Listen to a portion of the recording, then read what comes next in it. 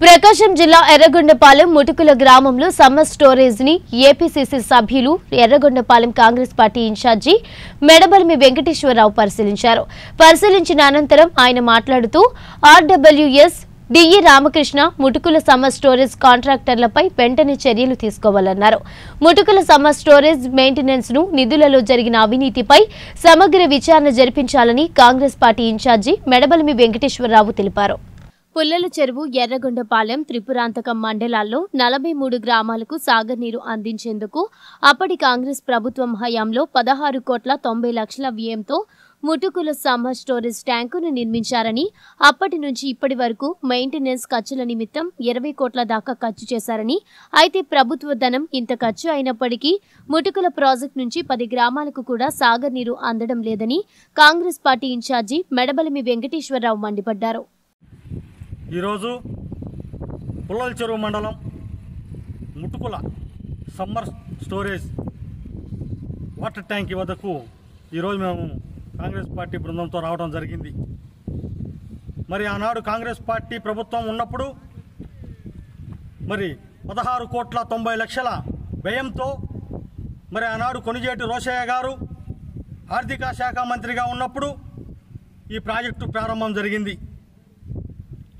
మరి దీని ముఖ్య ఉద్దేశం ఎర్రగొండపాలెం మండలం పుల్లల చెరువు మండలం త్రిపురాంతకం మండలం. చుట్టుపక్కల నలభై మూడు గ్రామాలకు మరి ఈ నీటి సరఫరా చేసేందుకు ఆనాడు కాంగ్రెస్ ప్రభుత్వం మరి ఎంతో ప్రతిష్టాత్మకమైన ఈ ప్రాజెక్టును ఏర్పరిచింది. మరి గత ఐదేళ్ళ నుంచి చూస్తున్నప్పటికీ ఈ ప్రాజెక్టు నలభై మూడు గ్రామాలకు నీళ్ళు అందవలసింది పట్టుమని పది గ్రామాలకు కూడా నీళ్ళు వదలలేని పరిస్థితి దుస్థితి మనము ఈరోజు ఈ ముట్టుకోల సమ్మర్ స్టోరేజ్లో మనం చూస్తున్నాం.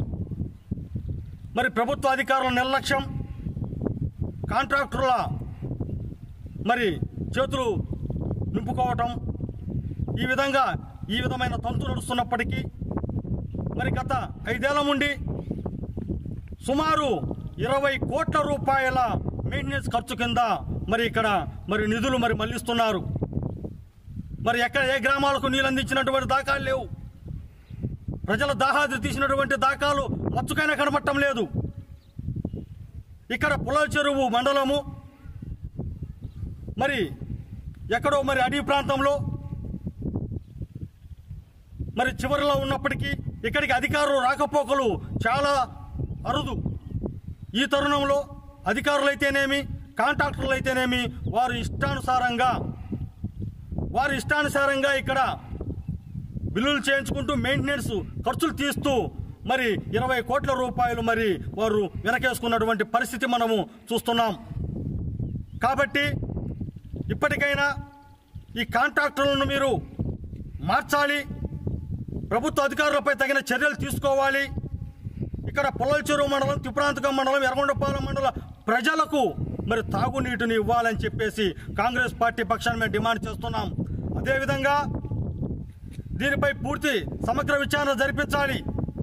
అలా లేని పక్షాన ఈ ప్రాజెక్టు పరిధిలోని ప్రజలతో కాంగ్రెస్ పార్టీ మరి పోరాటాలు కూడా చేయడానికి సిద్ధంగా ఉందని చెప్పేసి కూడా ఈ సందర్భంగా తెలియజేసుకుంటూ సెలవు తీసుకుంటున్నాను.